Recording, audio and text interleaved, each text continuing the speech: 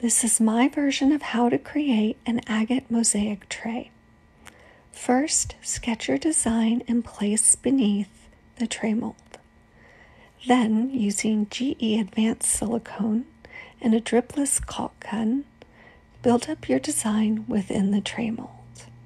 This silicone will fuse to the tray mold, creating a new permanent mold. Add your first layer of resin along with your tray handles. Allow this layer to cure. You may then add a second thin layer of resin with additional pigment and embellishments to create more depth. Once the second layer has cured, remove each individual agate slice, sanding the edges and painting the edges to create more definition. Place the slices carefully back into the second tray mold, allowing for suction along the bottom of the slices.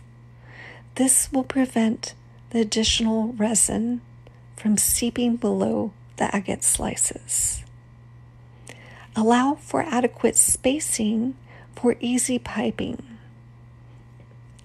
I filled a small craft bottle with resin and sparkling pigment and piped it between the agate slices to allow the slices to adhere to one another.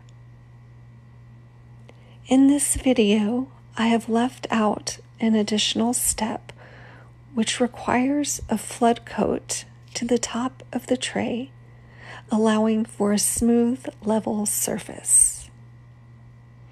If you have any questions about how this tray was created or the supplies used, please first read the text below the video where I list all the supplies I used to create the tray. For process questions, you may list them in the comments below and I will try to answer them in a timely manner. If you decide to make a similar tray, I would love for you to tag me in your post. I want to take this time to thank all of you who commented on my posts as I was making this tray over the past week.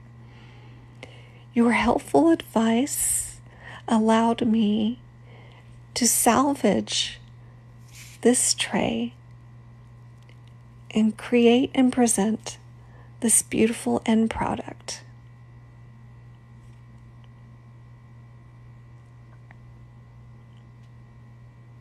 I hope you enjoyed the video.